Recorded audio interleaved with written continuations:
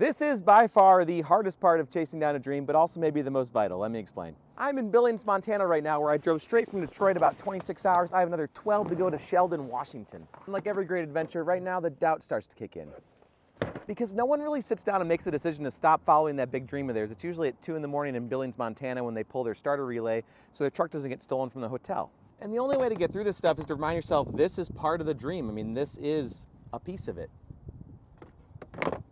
And it's actually an essential part of it because if these things were easy, everyone would do it and then it wouldn't matter as much. But I want to be a rally champion, that's really hard. Restarting the car factory, also hard. It's going to take a long time. These things matter. Life is fun. Keep moving. Lyndon Johnson said if you do everything, you will win. So see you in Shelton, Washington.